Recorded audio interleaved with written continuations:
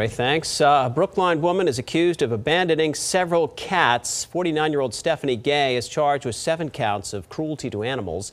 Police say the investigation started after several cats were found abandoned at a home in Hollis back in October.